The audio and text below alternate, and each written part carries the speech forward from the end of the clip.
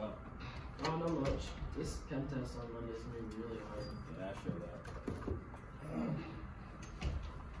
What's up, guys? So, dude, just Yeah. studying for the chem test. Uh, what's the test even on? Photoelectric effect or something, who knows? I'm stu- struggling with atom structure.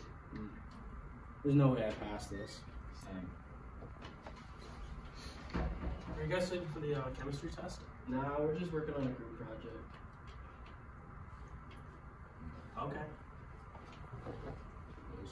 It's not fun. Hi, I'm the disembodied voice in your head. I know what you're thinking. This just didn't feel right. Let's take a rewind and see how this could have been more inclusive. Are you guys studying for the chem test? Yeah, we are. Wanna come study with us? Heck yeah, I do.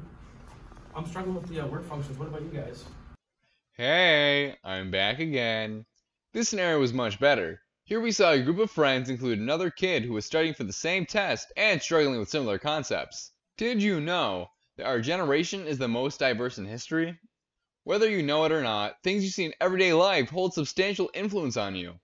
In every minute of the day, 100,000 tweets are sent, 2 million questions are searched on Google, 48 hours of video are uploaded on YouTube, and 3,600 photos are shared on Instagram. Your values on inclusion and diversity are heavily influenced by what you see on social media and throughout the entertainment industry. We need to be past theory at this point. We'll be able to calculate a go, no go with that information. When exactly is that going to happen? Catherine? Have a go at it? Movies are one of the most accessible forms of art in the world. People from all walks of life experience entertainment and media in some form. It provides a common experience and platform for society to talk about social issues. On campus, the Office of Res Life makes inclusion an important factor to having a diverse student body. My name is Troy LaSalle. I am the Director of Residence Life.